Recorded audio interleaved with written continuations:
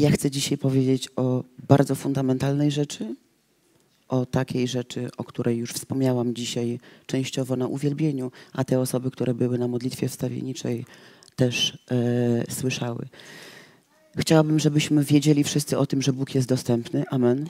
Jest dostępny. Można się zmieniać, można brać moc od Boga do tego, aby się zmieniać.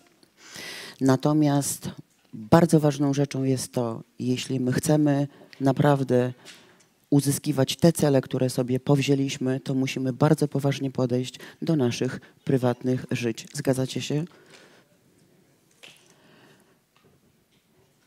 Jeśli mury kościoła są rozwalone, jeśli mury zespołu są rozwalone, to znaczy, że są rozwalone nasze mury. Mury naszych żyć, mury naszych rodzin, mury finansów, mury rodzicielstwa, macierzyństwa itd., tak itd. Tak Kościół w zasadzie średnio jeszcze jest w takim miejscu, że chce analizować w ogóle swoje życie. Ja osobiście uważam, że jest potworna siła wyparcia. Potworna siła wyparcia. Ludzie absolutnie nie chcą głęboko zaglądać w ogóle w poszczególne elementy swojego życia. Wiecie, kiedy modliliśmy się w środę, modliliśmy się jedną z kluczowych i bardziej takich jak dla mnie ważnych aspektowo, jeśli chodzi o modlitwę wstawienniczą, żeby właśnie wznieść mur. Ale nie mur nie wiadomo gdzie, tylko mur u nas. W naszym kościele i w naszym zespole, żeby to właśnie u nas nie przeciekały rzeczy. Nie interesuje mnie, gdzie przecieka Ważne, żeby u nas nie przeciekało. Jak nie będzie przeciekało u nas, to będziemy mogli stawiać mury w innych regionach, rejonach, miastach, narodach itd. Tak ja osobiście nie wierzę w to, że przeciekają nasze prywatne mury i ustanawiamy mury nie wiem gdzie. Ja tego nie doświadczam. Dla mnie to jest iluzja, enigma i fajna zabawa. Po prostu taka fajna zabawa. Do kościoła się przychodzi albo na modlitwę, jak na grupę wsparcia. Rozumiecie? A do kościoła i na modlitwę musimy przychodzić z zupełnie innym nastawieniem. Więc pierwsza Mojżeszowa 2,15. I wziął Pan Bóg człowieka i osadził go w ogrodzie Eden, aby go uprawiał i strzegł. Wiecie, jeśli się będzie w waszym umyśle pojawiało to, że ja to wiem, ja wiem, co Bóg powiedział do Adama, ale to nie ma żadnego znaczenia, czy ty wiesz. Znaczenie ma to, czy ty to praktykujesz. Wiedzieć wiemy bardzo dużo. Bardzo dużo wiemy. W zasadzie można powiedzieć, że na każde pytanie mamy odpowiedź, jesteśmy ekspertami od wszystkiego. Taka jest prawda. Prawda o nas jest taka, że jesteśmy ekspertami od wszystkiego. Tylko istota jest taka, czy u nas mury nie przeciekają. A więc wziął Pan Bóg człowieka i osadził go w ogrodzie Eden. I co do niego powiedział? Powiedział do niego dwie bardzo ważne rzeczy. Kluczowe zasady dla człowieka w ogóle wierzącego. Aby go uprawiał i aby go strzegł. Aby uprawiał i strzegł Eden. I to jest pierwsza i podstawowa lekcja z tego słowa dla nas, że wszystko, co dostajemy od Boga, mamy to uprawiać i strzec. Ja w ogóle uważam, że świadomość posiadania rzeczy różnych, duchowych i materialnych jest bardzo mała, bo gdyby była, to byłaby wzbudzona ochrona. Naturalną rzeczą jest to, że mama chroni w ogóle swoje dzieci. Ona jest świadoma, że posiada dziecko. Ona jest tego świadoma i naturalną rzeczą jest to, że ona chroni swoje dzieci. I teraz niezależnie od tego, co Bóg nam daje, pytanie, czy masz świadomość posiadania? Jeśli tak, to będziesz uprawiał i będziesz strzegł. A więc wszystko, co dostajesz, masz rozwijać, kultywować i używać. I ma to przynosić owoc. Wszystko, co dostajesz od Boga, masz to kultywować, używać, rozwijać i te rzeczy mają przynosić owoc. To jest zasada, która w zasadzie przewija się w ogóle przez każdą, przez całą Biblię. Wszystko, co bierzemy od Boga, jest po to, abyśmy to rozwijali, kultywowali, używali, wykonywali pracę w oparciu o to i strzegli to. I ja się modlę, żebyśmy my byli w tym, żebyśmy my to przede wszystkim rozumieli. Żebyśmy nie przyjęli dzisiaj też tego słowa jako kolejną jakąś tam w ogóle informację. Posłuchajcie, uważam, że jest taki czas, to, co się teraz wydarzyło w ogóle w Izraelu, jest to informacja o tym, że Kościół się dał najechać. Diabeł najechał na Izrael i w ogóle diabeł najeżdża na Kościół. Dlaczego? Dlatego, że mury przeciekają. I my o to się modliliśmy w środę. Bojowaliśmy o to w środę. Stawialiśmy mury przy naszych prywatnych życiach, przy finansach, przy rodzinach, przy małżeństwach. Uważam, że diabeł wprowadza dezorientację i nie chce, abyśmy się na tych rzeczach skupiali, ale chce puścić nas w tak zwany iluzyjny, iluzyjną w ogóle przestrzeń, żebyśmy budowali Bóg wie co. Ale co? Ale co?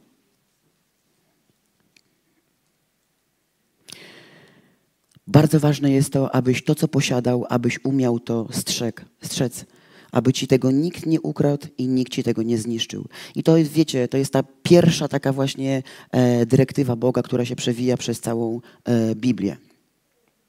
Jesteś w Edenie, cokolwiek jest twoim Edenem, jesteś w Edenie, masz go uprawiać i masz go strzec.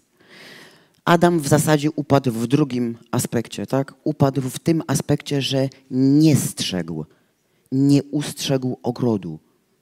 Po prostu nie ustrzegł ogrodu. Co ci Bóg dzisiaj dał? Co nam Bóg dzisiaj dał? W zasadzie wszystko. Wszystko mamy od Boga. Pytanie, jaka jest tego świadomość? Co ci dał Bóg? Musisz wiedzieć, co ci dał Bóg. Masz mądrość, mamy dary, mamy służby, mamy rodziny, czy dzieci, czym są dzieci? Dzieci są darem od Pana. Jesteś świadomy tego, co ci dał Bóg? Nie wierzę w to, że nie dbamy o to i będziemy wstawiennikami dla jakiegoś w ogóle regionu. Nie wierzę w to. Nie wierzę, że kiedy nie pilnujemy i nie strzeżemy tego, będziemy stawiali mury gdzieś indziej E, powiem tak, pobawić się w to można, ale nigdy ci Bóg tam nie dał autorytetu. Dlatego, że masz wywalone na to, co masz. Co dzisiaj masz? Co dzisiaj masz? Wiecie, ile osób po konferencji dzwoniło do mnie i mieli jakby takie w ogóle pretensje trochę. A co to teraz ja mam być tylko mamą i żoną? Ja mówię, nie powiedziałam tego. Ale to jest pierwsze Twoje zadanie. To jest pierwsze Twoje zadanie. Bądź tego świadom. Kultywuj to, uprawiaj to, zarządzaj tym i strzeż to. I strzeż to. Dzisiaj pobieżnie czyta się Biblię i też pobieżnie się ją, płytko się ją rozumie. Dlatego jak się czyta w ogóle pewne wersety, to o, to mnie nie interesuje wgryzaj się w ogóle w Słowo Boże. Niech Słowo Boże w ogóle mówi do Twojego życia. Popatrz, Bóg dał Adamowi Eden. Mega istotna informacja. Jak ja zaczęłam to sobie zgłębiać, mówię, Boże, w zasadzie ta zasada się w moim życiu przewala cały czas. Jeśli jestem ciutkę wyżej i coś wzięłam od Boga, w zasadzie muszę to rozwijać i tego strzec. Rozwijać i tego strzec. To, co ci Bóg dał, jeśli ci dał dzieci, jeśli dał ci rodzinę, jeśli masz mądrość, masz dary, masz służby, to to jest wszystko pod Twoim zarządem. Pod Twoim zarządem. Więc masz tego używać i strzec. I wiecie, ja modlę się, żeby to słowo nas wszystkich przyprowadziło do pionu. Do pionu aby zająć się naprawdę rzeczami właściwymi. Przede wszystkim, co nas dzisiaj interesuje? Nasz Kościół i nasz zespół. To jest dla nas rzecz najistotniejsza. Nasz Kościół i nasz zespół. Za to wzięliśmy odpowiedzialność. Nasz Kościół i nasz zespół.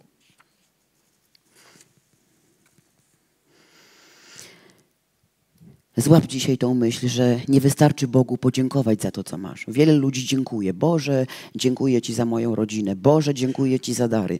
Boże, dziękuję Ci za służbę. Boże, dziękuję Ci za mądrość. Boże, dziękuję Ci za, za coś tam jeszcze. Ale czy rozwijasz to? Czy kultywujesz to? Czy tylko po prostu to masz? I nie strzeżesz w zasadzie tego. I takie pytania trzeba sobie pozadawać. Każdą rzecz, którą identyfikujesz jako Boże błogosławieństwo dla swojego życia, potrzebujesz trzymać mocno i strzec. Co ci dzisiaj dał Bóg? Pisz sobie w ogóle na kartce, żebyś wiedział, co jest moje, a co jest zapożyczone. Co jest moje, co mi dał Bóg. Cokolwiek mi dał, jakikolwiek dał mi talent, rozwinę to do granic możliwości. Dał mi mądrość, rozwinę mądrość. Będę strzegł tej mądrości. Dał mi rodzinę, będę strzegł mojej rodziny.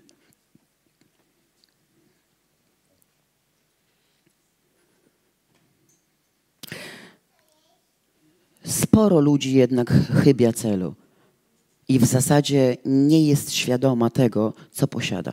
Po prostu. Od tak sobie jest łatwo takie wrzuty diabłu zrobić do umysłu ludzi.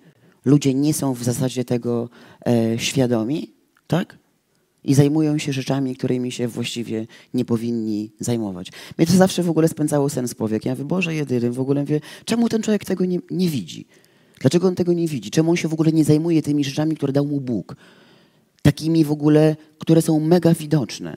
Jest w ogóle żona, są dzieci. W ogóle kurczę, dlaczego to jest takie, dlaczego to jest zostawione? Czemu w tym aspekcie jest ruina? Czemu tu jest ruina? A czemu tak łatwo pofrunąć do jakiejś służby? Czemu? Bo to jest realna odpowiedzialność. To jest realna odpowiedzialność. Bo wielokrotnie coś powiesz, że coś pójdziesz i zrobisz i nikt cię nie zweryfikuje. Ale kiedy masz dziecko i kiedy masz żonę, to dziecko od rana będzie chciało co? Jeść. Ono po prostu będzie chciało jeść. Ja w ogóle zdaję sobie też z tego sprawę, że to są w ogóle rzeczy, których się w zasadzie nie chce słuchać. Że one są nieistotne, niemiłe ale to jest fundament i podstawa. Fundament i podstawa, żeby najpierw zadbać o swój prywatny mur, żeby nie rodziła się herezja, głupoty, nadduchowość, wiecie, i w zasadzie zero owocu. Zero tłuszczu, zero owocu, bańka pusta. Co w ogóle co to jest? Kościół, grupa wsparcia, modlitwa, grupa wsparcia, wszyscy stoją, nikt się nie modli, cały czas trzeba zagrzewać do boju. Co to w ogóle jest? To nie takie jest założenie Boga. To nie tak. Pierwszy Tymoteusza 6,20. Tymoteuszu, strzeż tego, co ci powierzono. Unikaj pospolitej pustej mowy i sprzecznych twierdzeń, błędnej rzekomej nauki jest tutaj mowa o rzeczach duchowych. To jest bardzo istotna rzecz. Czemu w ogóle apostoł Paweł mówi to do młodego w ogóle wierzącego? Bo to jest istota. On musi zrozumieć w ogóle, co posiada. Oczywiście nie jest tu mowa o walizce, żeby pilnował walizki, żeby tam mu ktoś walichy nie zwinął. Jest tutaj mowa o rzeczach duchowych. Ale jest to bardzo istotne. Strzeż tego, co masz. Ta zasada się cały czas przejawia w Biblii. Strzeż tego, co masz. Bądź tego świadom. Zobaczcie, i w przypadku Adama, i w przypadku Tymoteusza nikt nie postawił aniołów i nie ustanowił, tak? Ustanawiamy teraz w ogóle tutaj Bożych aniołów nad Edenem, w ogóle nikt nie najedzie w ogóle Edenu i tak dalej, i tak dalej. Nie, jest dyrektywa od Boga. Ja to poślę aniołów. Niech nie przylecą. To jest pierwsza zasada Boga do człowieka. Bądź świadom tego, co masz i strzeż. Bądź świadom i strzeż. Nie działają takie rzeczy, że jesteśmy nieodpowiedzialni, nie strzeżemy, tak? Ale poślemy Bożych aniołów w ogóle, żeby, żeby pilnowali. Ja sobie leżę tutaj, nic nie robię, w zasadzie jestem życiowo zdezorientowany, tak? Życie mi odbija po prostu w twarz każdego dnia, ale ja każdego dnia tam ustanawiam do poszczególnych kwestii swojego życia aniołów. Ja wie, Boże, mówię, to ile, ile tych aniołów tam jest? Strasznie dużo. Tak się tak po prostu takie anie, anie, anielskie teraz to wszystko jest takie. Kochani, ja do nikogo nie piję, absolutnie. Nie chcę, żebyście tego tak odbierali. Ja to sama mówię też do siebie. Wiecie dlaczego? Ponieważ ja jestem w głębokiej świadomości i odpowiedzialności za to, co robimy. To mój kościół i mój zespół. I ja nie chcę i nie pozwolę, aby diabeł dezorientował nas, wprowadzał zamęt, zamieszanie, tak? I wprowadzał nas w ogóle w iluzyjne rzeczy. Nie, nie taki przykład daliśmy. Daliśmy przykład, aby w ogóle globalnie zajmować się w ogóle swoim życiem. Masz żonę, masz dzieci, trzeba dbać. A nie, że nie, nie ma mnie. A więc, i to taka bardzo ważna rzecz. Tam, gdzie jest y, autorytet, jest tam, Autorytet masz tam, gdzie masz odpowiedzialność. Tam masz autorytet. Rozumiecie? Masz żonę, masz dzieci, tak? Tam masz autorytet. Możesz ustanawiać, możesz chronić, możesz bronić. To jest mega istotne, żeby w ogóle zdawać sobie z tego sprawę, żeby być człowiekiem e, świadomym. A więc strzeż tego, co masz. Strzeż świata swoich myśli. To tu się też wszystko zaczyna. Tu się wszystko zaczyna, właśnie w głowie. Po prostu jestem taki, nie wiem, zagubiony niebieski ptak. Chodzę taki w ogóle nie wiem o co, o co chodzi. W środę wpadnę do kościoła, w niedzielę też wpadnę. Wiesz o co chodzi? I wszystko w ogóle rozsypane. To nie tak. To jest naprawdę czas, aby wziąć się za odbudowę muru, między innymi w swoim prywatnym życiu. Muru tam, w tych rzeczach, w które wiesz, że Bóg ci je dał dał ci pod Twój zarząd. Tam jest Twoja odpowiedzialność. Z tego w zasadzie nas Bóg na samym początku rozliczy. Wiecie, z czego Artur będzie rozliczony? Z tego, jakim był, był mężem dla mnie. W pierwszej kolejności. Nie z kościoła i nie z zespołu.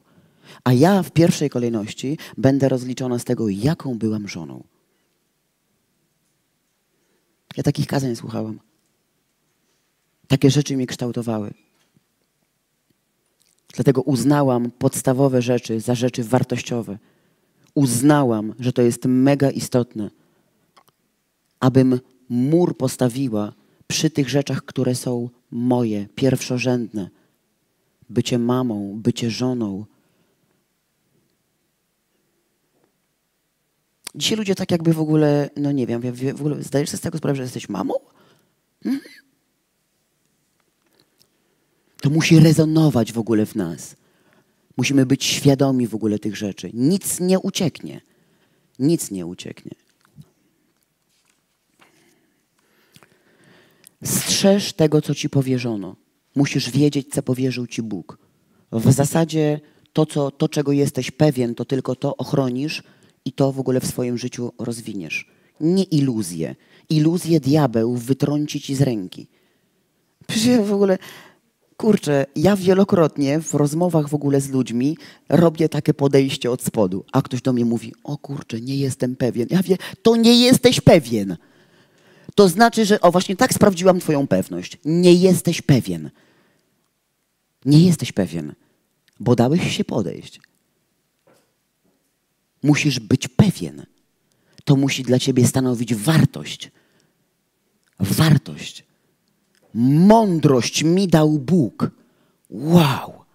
Naokoło głupota taka, że się w pale nie mieści.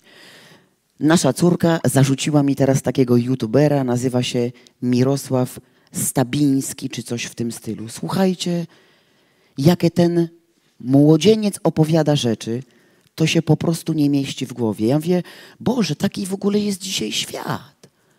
Taki jest dzisiaj świat. Bzdury takie opowiada, że po prostu szok. Mówi, jedna jest marność nad marnościami. Ekraska, coś tam, święta izraelska. Ja mówię o królu jedyny. Ja wam odpowiem teraz na pytanie, dlaczego się upijają kobiety. To się bierze z umysłu ciała. I cytuję jakieś przysłowia. Wiecie, kretynizm. Kretynizm. I mówi, kto połdołki kopie, ten wpadnie do Wielkanocy. Ja mówię, Sara, mówię, jedziemy, dajesz mi dalej, mówię, bo ja w ogóle, mówię, Boże, kto połdołki kopie, ten wpadnie do Wielkanocy. Albo mówi, ja wstaję o 6 rano, kto wstaje rano, temu, co, dworzec stanie? To jest coś, że poranne stają zorze. A, że, że on wstaje rano i jemu wstaje dworzec. O, poran, poranny staje dworzec. Ja mówię, Boże, to jest przeokrutny duch głupoty. Wiecie o co chodzi? Ale to coś w ogóle przenika do kościoła. Niestety, to przenika do kościoła. Mówi, zarzucają mi, że mam chorobę Auschwitz. Ja mówię, ale, ale ja, ktoś tam do niego mówi, autyzm, nie, nie mam Auschwitzu, ani ja, ani moi rodzice, nie mam Auschwitzu. Po prostu, wiecie, i wielokrotnie jak się przyglądam takim rzeczom, to też tak, takie coś odbieram wielokrotnie, jak rozmawiam z ludźmi. Rozumiecie, jest totalna dezorientacja. Mówię do człowieka o fundamentalnych rzeczach, o tym, co jest ważne, o tym, co jest priorytetem. Ja wiem, nie, w ogóle nie, nie widzisz tego? Nie jesteś po prostu tego świadomy? Jakiś szok. Adam z Edenu został wygoniony. I wiecie dlaczego? Po prostu został wypędzony, bo nie ustrzegł. Został wywalony i tak jest z nami. Kiedy nie strzeżemy co tego, co daje nam Bóg, jesteśmy wypychani z życia.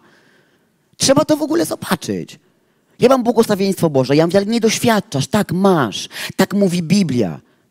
Ale czy ty doświadczasz? Nie jesteś świadomy tego, co masz, nie strzeżesz tego i w ogóle jesteś wypychany z darów, z błogosławieństwa, z życia, z obietnic. One są w zasadzie Twoje, ale Ty z nich co? Nie korzystasz, bo nie strzeżesz tego, co Ci dał Bóg. Nie jesteś posłuszny pierwszej dyrektywie Boga. Masz wiedzieć, co masz. Masz wiedzieć, co masz. Szakarabasitara. Masz wiedzieć, co masz. Masz to kultywować, używać, zarządzać tym i strzec tego. Strzec. Nie można się inaczej rozwijać, kochani. Wszystko inne to jest iluzja. Iluzja to jest właśnie to. Święta ekraska, coś tam, coś tam, święta izraelska. Głupota. Ludzie takim językiem dzisiaj mówią. Ja wiem, jak tam u ciebie? Ekraska.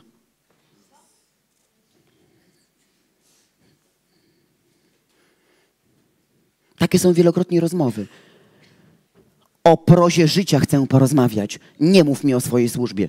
Nie mów mi o tych rzeczach. Ja chcę porozmawiać, co jest u ciebie, co jest w twoim domu, co jest w Twoim portfelu, jak wygląda Twoja sypialnia, jak wygląda Twoja relacja z mężem, jak wygląda Twoja relacja z Twoimi dziećmi, jak to wygląda. O tym musisz umieć opowiedzieć. W zasadzie to jest pierwsza rzecz, którą dał Ci Bóg. Masz tym zarządzać, masz to strzec. To ma przynosić owoc. Ale Kościół się nauczył opowiadać o tak zwanych rzeczach, wiecie,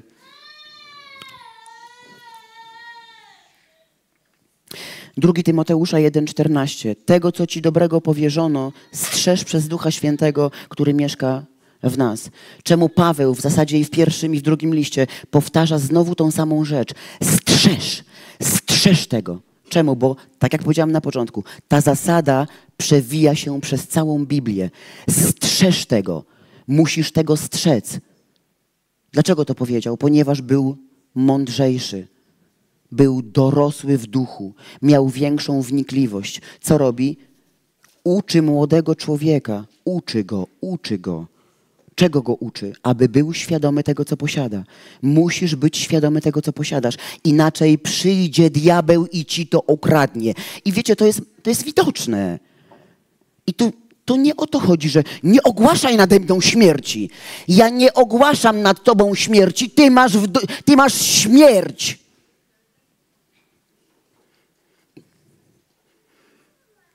I jesteś w systemie wyparcia problemu. Ja nie ogłaszam nad tobą śmierci. Nie prorokuj mi tu. Ja ja nie prorokuję do ciebie. Ja mówię do ciebie, człowieku. Strzeż tego, co dał ci Bóg. Inaczej będziesz wypchnięty z życia. Rzeczywistość cię wypchnie. Zgadzacie się z tym? Mówię prawdę? Rzeczywistość cię wypchnie. Możesz wyznawać na prawo i lewo.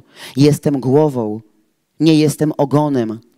Diabeł jest pod moimi stopami i tak dalej.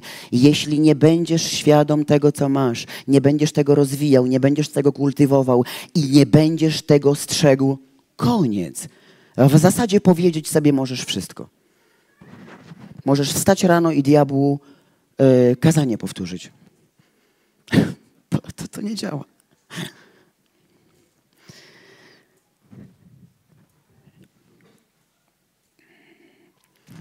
Czemu Paweł powiedział do Tymoteusza te rzeczy?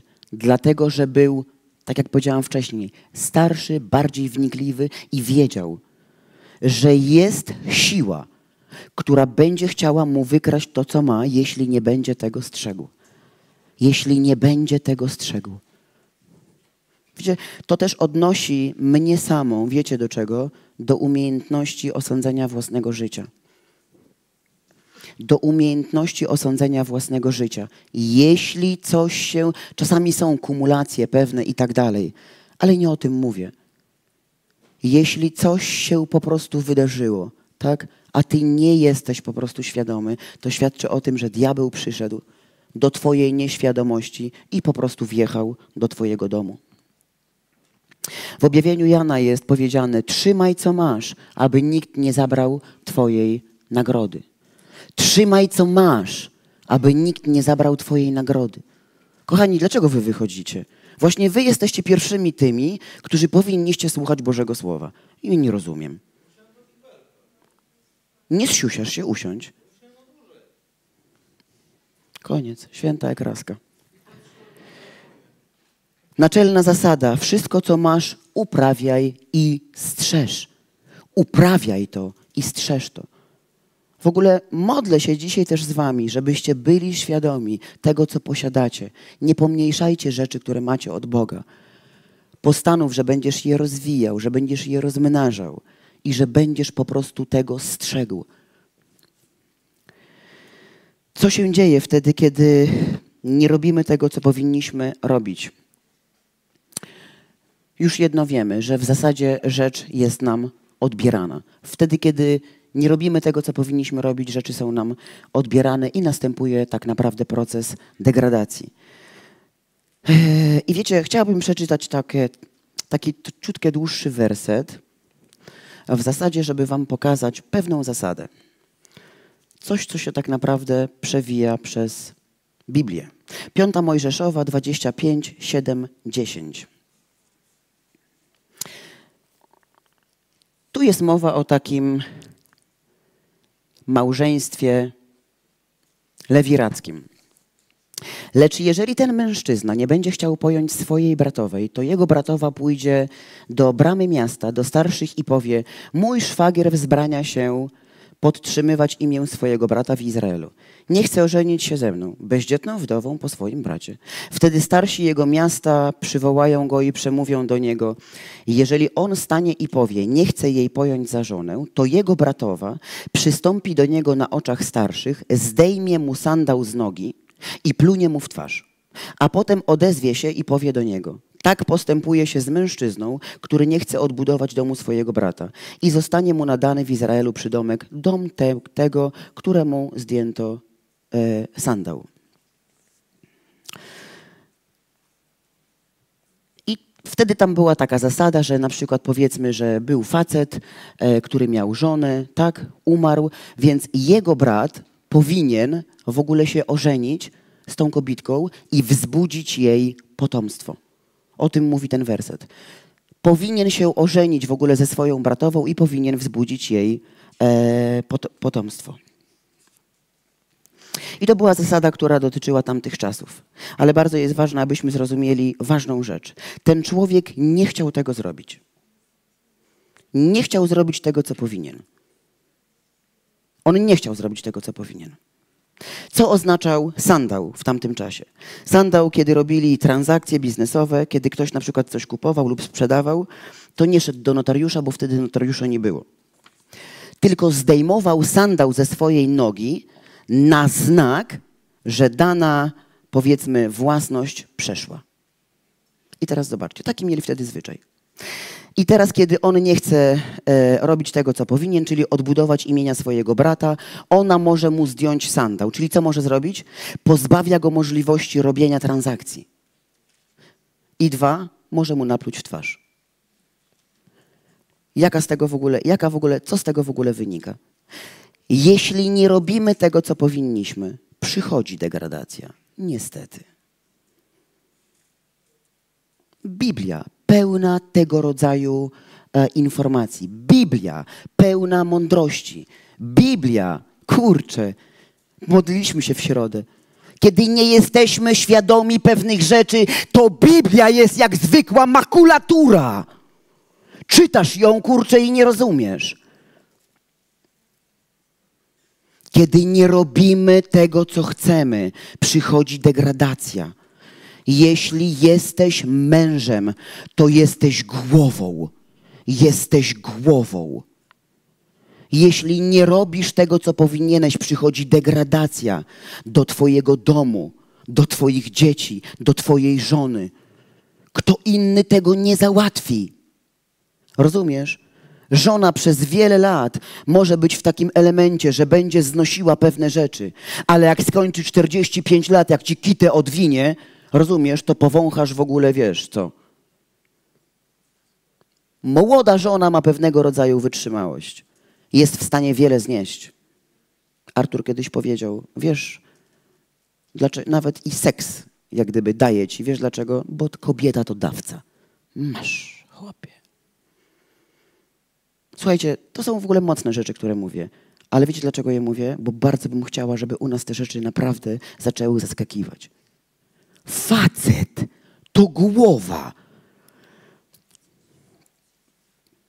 Nie możesz nie chcieć robić tego, co ci Bóg dał. Co to jest w ogóle?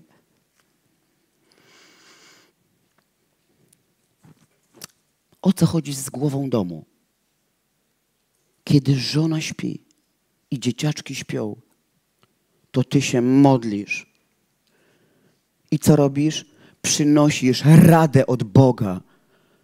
A nie. Ona się lepiej modli, niech ona się modli. Ty widziałaś, jak ona się modli na wstawienniczach, na wstawienniczych? Ach, czykiela balaraha. I ja mówię, nie porzucaj swojej odpowiedzialności.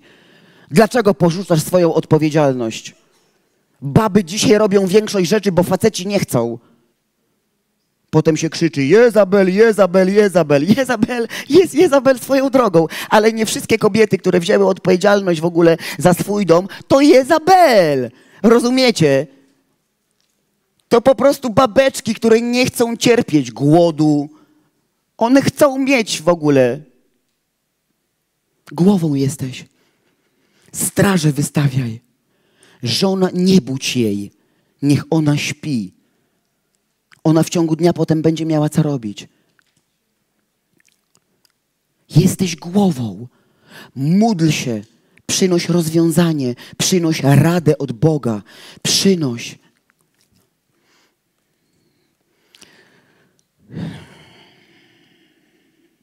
Jeżeli facet odmawia wzięcia odpowiedzialności, przyjdzie degradacja i przyjdzie jakieś wynaturzenie. Tego się, kochani, tego się nie zamodli. Wiecie, że tego się nie zamodli? Do tego się nie zamodli. Jeśli facet nie bierze tego, co dostał od Boga, nie kultywuje, nie rozwija i nie strzeże, przyjdzie degradacja. Dzieci będą widziały. Mama stawała na wysokości zadania, a tata, tata był motylem. Pięknym. Piękny był. Adonis. Ale, no cudowny był. Po prostu buty w szpic, w kieszeni nic. Jejku. Takie po prostu. I półdołki kopał. I wszyscy wpadaliśmy do Wielkiej Nocy. Ha, ha, ha. Wiedziałam, że użyję Mirosława Stabińskiego. się złap za głowę. Super. Więc mężczyzna, który się wycofuje z miejsca bycia głową, otwiera swój dom na wszystkie możliwe działania. Kiedy jesteś głową i nie masz tej świadomości i uciekasz w ogóle od tego, wystawiasz swój dom na różnego rodzaju działania demoniczne. Kiedy domy są opuszczone, to zaraz tam jest jakaś mylina, nie? To tak jak jest z tym uwolnionym w ogóle człowiekiem, tak? Diabeł przychodzi, mieszkanko wysprzątane, tak? Zero światełka, zero w ogóle zagospodarowania pewnych elementów prawdami bożymi. Jest wjazd. Kogo przyprowadził? Kompanów. Na początku był jeden, potem przyprowadził kumpli. Ale mam teraz młyn. No masz. No masz. Masz, bo nie byłeś świadomy. Nie byłeś świadomy uwolnienia, nie byłeś świadomy w ogóle tego, jaką dostałeś informację, co powinieneś robić. Powinieneś teraz na przykład zagospodarować wolne miejsca, uwolnione, tak, prawdami bożymi. Popatrzcie, wielo, bo my, Kościół bardzo lubi zwalać w różnych aspektach winę na diabła. Diabeł, diabeł, no ty, tak, doktrynalnie diabeł. Przychodzi, żeby zażynać, jak gdyby wytracać, mordować. Ale w ilu przypadkach to my dajemy Jemu przestrzeń do działania. Bóg potrzebuje uwagi i diabeł również potrzebuje uwagi. No tak to po prostu jest. Bóg potrzebuje Twojej uwagi, skupienia się na nim i wiary, i diabeł potrzebuje tych samych elementów. Twojej uwagi, Twojego skupienia i wiary w niego samego. Rozumiesz? Kiedy jesteś świadom w ogóle rzeczy, które posiadasz, kiedy w Twoim domu pali się światło, kiedy jest gospodarz, kiedy straże są wystawione, wiesz, kiedy ten ogród jest zadbany, nie ma takiej opcji, że przyjdzie diabeł. On się będzie trzymał z daleka. Będzie się trzymał z daleka. I wiecie, chciałabym, żeby to w ogóle padły takie, w ogóle, żebyście widzieli realnie swoje problemy. Tam, gdzie nie masz muru wystawionego. Tam, gdzie od tak sobie to życie po prostu, no, tak sobie, o, wpadło mi takie coś. Takie coś wpadło i tak żyje tutaj u mnie. Ja wiem, dlaczego to u ciebie jest w domu? A takie słodkie to było. Ja wiem, to jest diabeł. To jest brak odpowiedzialności. Co to w ogóle? Dlaczego ty pozwalasz, żeby to u ciebie w domu w ogóle było?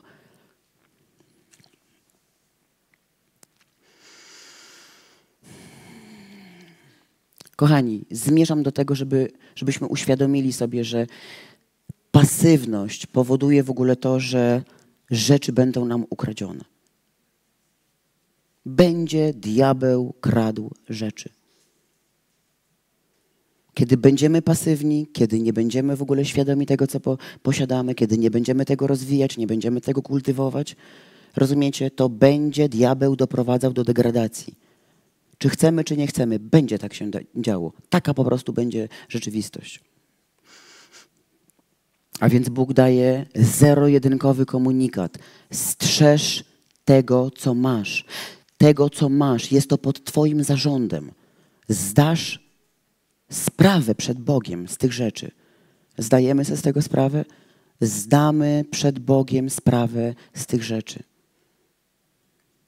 Hmm?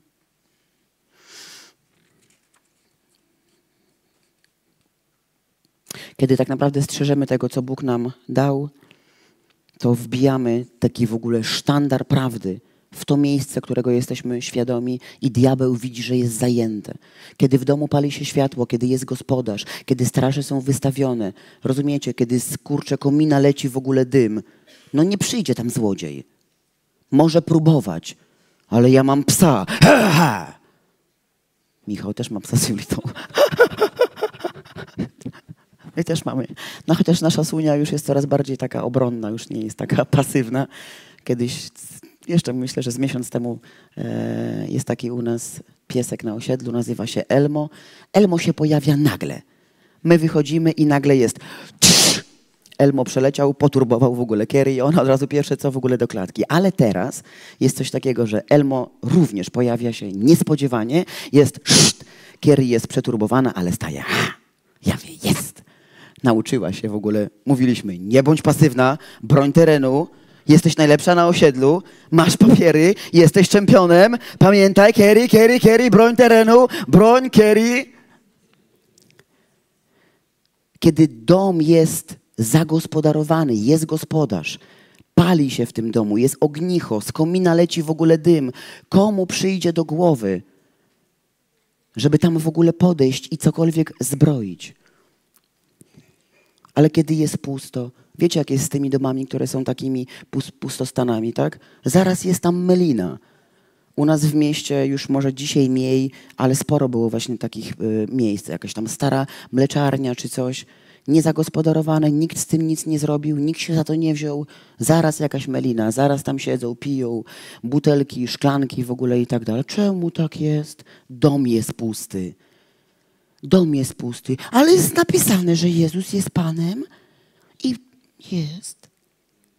Jest napisane, Jezus jest Panem i ja jestem, jestem sercem z Kościołem mocy. No i co z tego? A dom jest pusty. Po prostu dom jest pusty. Ewangelia Mateusza 13:25. Inne podobieństwo podał im mówiąc: Podobne jest królestwo niebios do człowieka, który posiał dobre nasienie na swojej roli, a kiedy ludzie spali, przyszedł jego nieprzyjaciel i nasiał konkolu między pszenicę.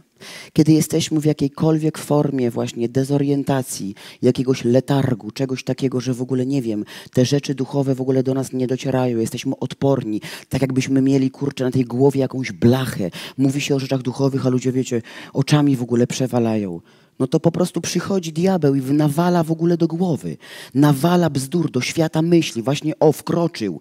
Wkroczył do świata myśli, zapanował, zapanował nad jedną myślą. Za myślą w ogóle poszedł czyn. Czyn spowodował, że w ogóle urodził się z tego taki, a nie inny owoc. Ja mówię, ale dlaczego diabłu się udało do twojego umysłu wejść z czymś takim? Dlaczego? Nie wiem, zaatakował mnie. Nie zaatakował cię. Nie masz muru Twój, twój mur przecieka. Musisz to uznać. Skapituluj. Ojcze, my ogłaszamy świętą kapitulację. Świętą kapitulację. Nie bronienie się. Nie broń się przede wszystkim sam przed sobą. Masz ruinę. Nie, no, nie mów mi do mnie, że mam ruinę. Masz ruinę. Jesteś jedna wielka ruina z niebiańskim DNA z paliwem rakietowym, ale Twoje życie to ruina. I ja się modlę, żeby ta święta kapitulacja następowała, ponieważ kiedy nastąpi święta kapitulacja, wtedy przyjdzie pomoc od Boga, bo Ty będziesz gotowy na każdą pomoc. Nie będziesz zadawał głupich pytań. Nie będziesz pytał, ile za ile, ile. Leż, nie wierć się. A ile przysiadów? 500. Nie dam rady. Dasz radę. Takie postawy są tylko i wyłącznie wtedy, kiedy przychodzi kapitulacja. Wiecie, co to się nazywa? Pokuta. Pokuta. Nie mam już siły, nie mam już w ogóle nic. Nie zbudowałem żadnego muru wokół tego, co dał mi Bóg. W ogóle nie byłem świadomy tego, co Bóg mi dał. Po prostu od tak sobie żyję, od tak sobie przyszło do mnie życie, od tak sobie coś mi się tam przydarzyło. Tak łatwo mi jest coś powiedzieć. W ogóle tego nie strzegę. Każdy może wejść, każdy może obsikać, każdy pies podejdzie, psz, ten siknął, ten siknął, ten siknął, kot nasrał. A potem, ale góra urosła, wejdę na tą górę, będę się z niej modlił. Szopki. Szopki to żadna góra, to góra gruzu. Podpal to.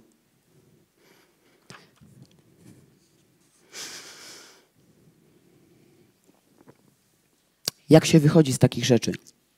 Z takich właśnie rzeczy, kiedy jesteś nieświadomy tego, co w ogóle posiadasz. Nie strzeżesz tego i tak dalej. Właśnie to jest to, o co się modliliśmy w środę. Księga Ezechiela 22:30. Szukałem wśród nich męża, który by potrafił wznieść mur. Wznieść mur przed, przed moim obliczem, stanąć w wyłomie, wstawiając się za krajem, abym go nie zniszczył, lecz nie znalazłem. Czy znajdzie cię dzisiaj Bóg? Czy dasz się dzisiaj Bogu znaleźć? Czy dasz się w zasadzie dzisiaj Bogu znaleźć? To jest pytanie do ciebie. To nie ja chcę cię znaleźć. Nikt inny cię nie chce znaleźć. Chce cię Pan znaleźć. Ten, którego, któremu zaufałeś. Ten, któremu oddałeś swoje życie. On w zasadzie dzisiaj kieruje to pytanie do ciebie. Czy znajdę męża? Czy znajdę dzisiaj ciebie? Czy znajdę dzisiaj ciebie? Czy będę w stanie zaszczepić w Twoim umyśle informację, że jesteśmy w stanie razem wzniecić mur, wznieść mur, taki, że w ogóle nikt tego muru nie przemoże. Postawimy razem ten mur. Ja i Jezus. Ja i Jezus zbudujemy mur. Nie wokół jakiejś iluzji, ale wokół tych rzeczy, które wiem, że je mam, są dla mnie błogosławieństwem. Wiem, że dostałem je od Boga, a totalnie odpuściłem zarząd. Totalnie odpuściłem element, aby strzec. Boże, w ogóle wiecie, że to jest łaska od Boga, że Duch Święty jest na ziemi, że nie wrócił jeszcze Jezus. I dlatego, że Kościół jest w takim stanie. Kurczę, to w ogóle ja się modlę o to, żeby to naprawdę siadało i w głowach, i w serduchach.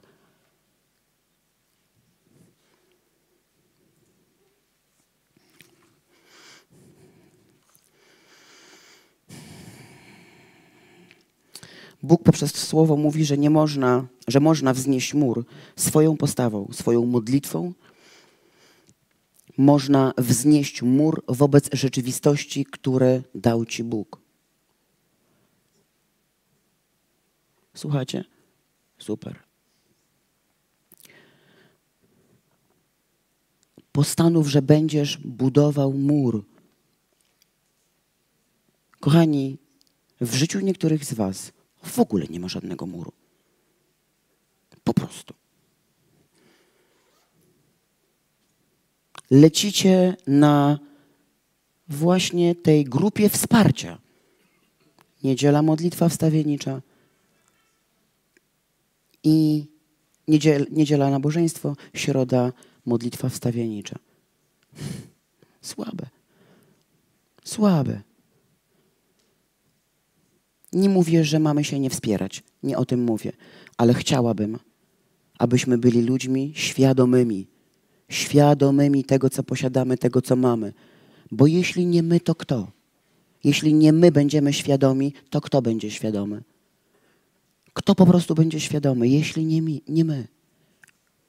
Szukałem męża, który wzniesie mur, nie iluzyjny. Ten mur ma być widoczny bo on jest po prostu czymś, co odeprze atak diabła. On nie najedzie. Tak. Poprzez przede wszystkim to, że ty widzisz, że w moim życiu jest niewzniesiony ten mur. Nie ma ochrony. Czysty przykład, to co powiedziałam. Jestem mamą i jestem żoną. Dom jest w ruinie, a ja jestem na ewangelizacji. Gdzie indziej wznoszę mur. Czemu? Ewangelizuj, ale dbaj o dom. To jest priorytet, z tego cię Bóg rozliczy.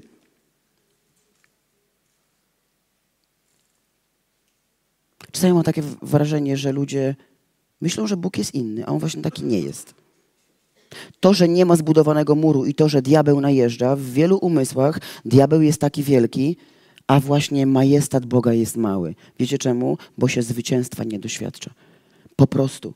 Stąd wymalowany jest szatan jako wielki byt, a Bóg.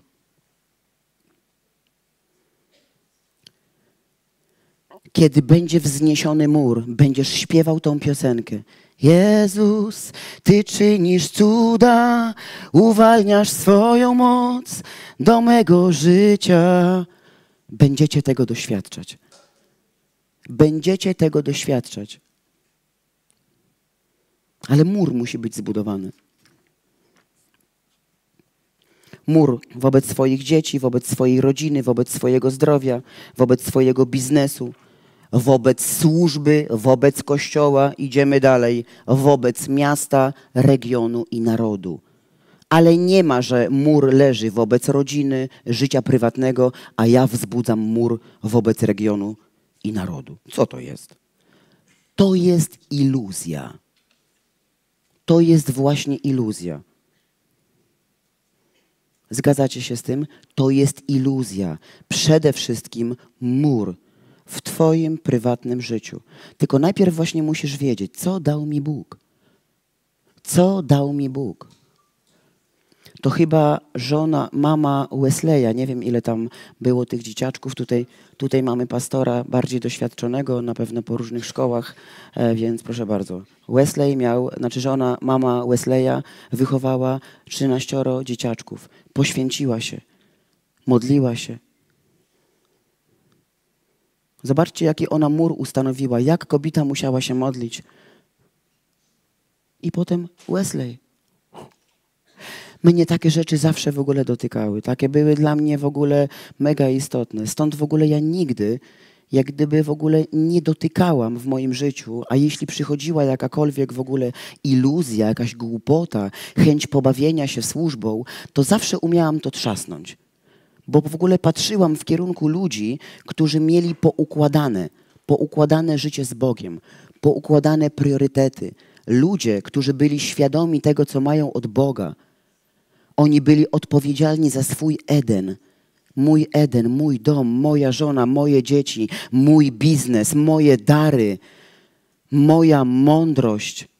Będę to rozwijał, będę tego strzegł.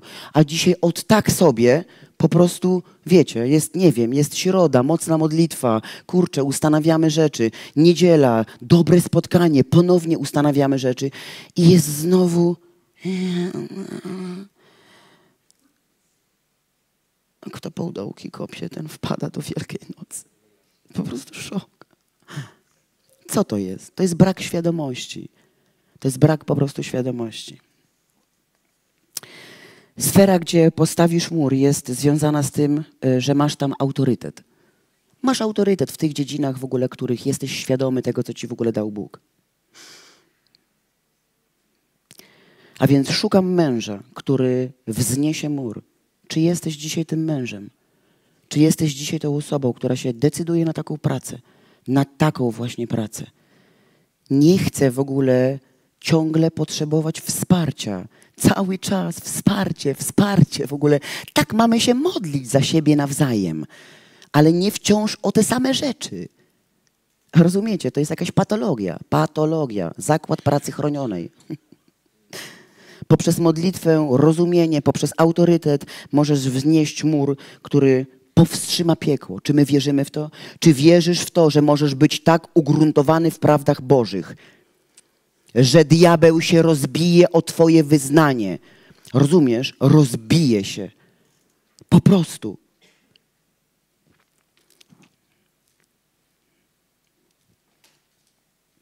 Stań dzisiaj w swoim autorytecie i Wznoś w modlitwie mur obronny, aby cię diabeł nie wywalał z twojego domu, z twoich obietnic od Boga i z błogosławieństwa, jakie Bóg dla ciebie ma. Kurczę, wiecie, jak pisałam to sobie, to mówię, faktycznie, to jest prawda. Ludzie nie strzegą tego, co Bóg dał i w sposób automatyczny są wywalani ze swojego Edenu, tak jak Adam. Tak jak Adam, won z Edenu. Po prostu, to jest rzeczywistość, to jest życie. Taka jest rzeczywistość i takie jest życie porządek w rzeczach priorytetowych. Jeśli dom leży, rodzina leży, to gdzie tam indziej ten mur stawiam? Nie idę stawiać płota sąsiadowi. Nie ustanawiam właśnie teraz nie wiadomo czego. To jest czas, aby wznieść mur. Wiecie, bo coś wam chcę powiedzieć. W ogóle my przespaliśmy wiele rzeczy bo te rzeczy powinny być w zasadzie bardzo do, dawno zrobione. Kiedy porwałam Biblię i kiedy powiedziałam wielka głowa, małe nogi. Wielki łeb od wiedzy, a małe nogi od praktykowania. I w zasadzie można powiedzieć, że to cały czas, jak można to powtarzać. Świadomość, praktykowania, priorytety, fundamenty. Nie ma opcji, że diabeł cię wywali z Edenu. To twoje, jest nowe przymierze. Jesteś głową, a nie ogonem. Jezus zwyciężył diabła. Jezus pokonał śmierć. Masz autorytet nad światem swoich myśli. Możesz myśleć o czym chcesz. To ty panujesz, to ty władasz.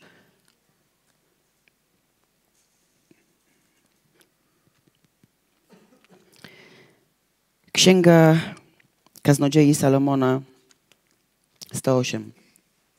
Kto kopie dół, ten może weń wpaść, a kto rozwala ogrodzenie, tego może ukąsić wąż.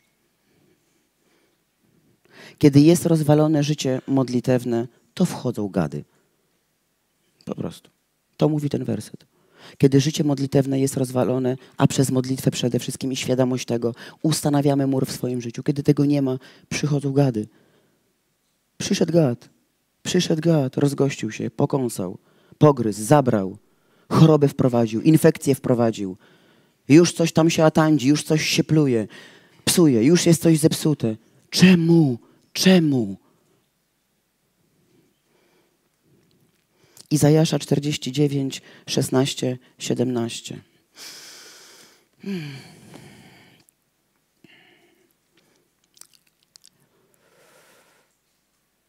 Oto na moich dłoniach wyrysowałem Cię. Twoje mury stoją mi zawsze przed oczyma. Popatrzcie, Bóg widzi mur. On nie jest enigmatyczny. Możesz zbudować taki mur, który będzie widoczny. Oto na moich dłoniach wyrysowałem Cię, Twoje mury stoją mi zawsze przed oczyma. Budowniczowie Twoi śpieszą się bardziej niż ci, którzy Cię burzyli, a ci, którzy Cię pustoszyli, wychodzą od Ciebie. I to jest taka właśnie ważna informacja. Informacja. Kiedy mur jest widoczny, kiedy jest bez dziur, to jesteś świadomy budowniczych, którzy przychodzą do Twojego życia. Tak nie. Inaczej nie jesteś świadomy. Kiedy mur jest postawiony, jest widoczny, nie przecieka, nie ma dziur, to jesteś świadomy budowniczych, którzy przychodzą do Twojego życia. A ci, co przyszli, aby to zniszczyć, muszą odejść. Wtedy realizuje się ta modlitwa. Boże, ja odsuwam od siebie ludzi przewrotnych i złych. A kiedy nie ma tego muru, to w zasadzie jest wjazd. Wiecie co jest? Po prostu ci ludzie po prostu przychodzą. Ty nie doświadczasz tego błogosławieństwa, że Bóg dodaje ci ludzi, którzy cię uczą, którzy ci pomagają, którzy w ogóle pomagają ci, którzy w ogóle coś z tobą w ogóle budują, tylko ciągle doświadczasz z rzeczy negatywnych. I za to wszystko, kochani, jest odpowiedzialne to, że mury nie są odpowiednio wzniesione. Nie można w ogóle nie chcieć osądzić tej rzeczywistości. W zasadzie trzeba ją osądzić. Trzeba tą rzeczywistość osądzić. Ktoś to musi osądzić. Mur nie jest zbudowany. Nie jest zbudowany mur tak, jak powinien być zbudowany. Na modlitwie wstawienniczej nie jesteśmy w stanie zbudować muru w życiu prywatnym Twoim. Czemu? Ponieważ to Bóg Tobie dał odpowiedzialność. W pierwszej kolejności Ty i Jezus, dopiero Ty i lider czy pastor. Łapiemy to? W pierwszej kolejności Ty i Jezus, Twoja sprawa z Jezusem. Nie od razu grupa wsparcia. Poznałem Jezusa, gdzie jest grupa wsparcia, gdzie jest modlitwa, gdzie się tam o mnie pomodlą, kto mi coś da. Nie, to nie jest to, nie jest to coś, co jest na, na pierwszym planie.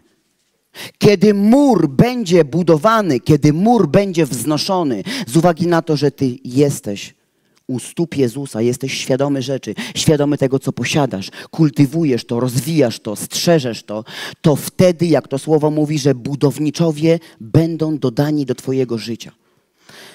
Zgadzacie się z tym? Amen.